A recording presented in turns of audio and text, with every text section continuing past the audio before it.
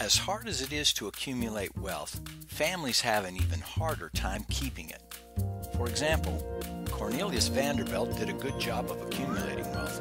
When he died in 1877, his heirs inherited the largest fortune ever accumulated. But by 1972, 120 of Vanderbilt's heirs gathered for a family reunion, there was not a single millionaire left among them. It only took 90 years for the largest inheritance ever to be lost, spent, or squandered. Is there a secret to keeping money in your family and keeping it growing from generation to generation? If there is, Mayer Rothschild knew the secret. When Rothschild died in 1822, instead of dividing his fortune amongst his heirs, he left his money in a family bank.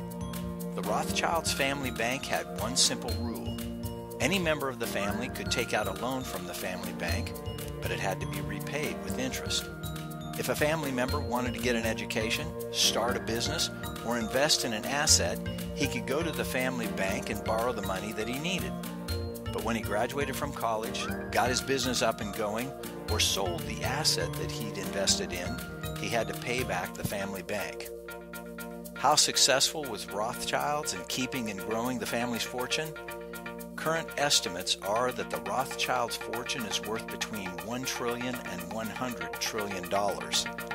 That means if the Rothschilds got together for a family reunion, there could be a million family members in attendance and every one of them could be a millionaire.